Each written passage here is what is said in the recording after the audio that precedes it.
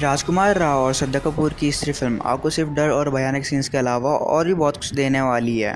Film के पहले frame से लेकर आखिरी फ्रेम तक फ़िल्म एक गंभीर माहौल बनाकर रखती है, जहाँ आप खुद को अगले सीन में क्या होगा इसका इंतज़ार करते पा सकते हैं। ये फ़िल्म एक असली वाक़े पर आधारित है। स्त्री का हीरो है विक्की, जो कि राजकुमार राव।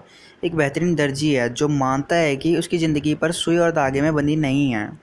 चंद्री के मनीष मल्होत्रा कहे जाने वाले विकी को अपने कस्टमर का साइज़ नापने तक की ज़रूरत नहीं पड़ती है।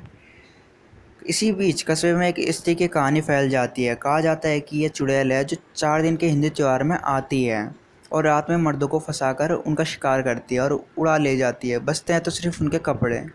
वहीं मर्दों के लिए उससे बचने का सिर्फ़ एक ही तरीका है कि वह अपने घर की दीवारों पर ओ स्त्री कलाना लिख ले। वहीं अगर गलती से भी अगर कोई मर्द उनके झांसे में फंस जाए तो उसका नाम लेगी, लेकिन उसे पीछे मुड़कर उसकी तरफ़ देखना नहीं है। ऐसा किया तो वो समझो गया।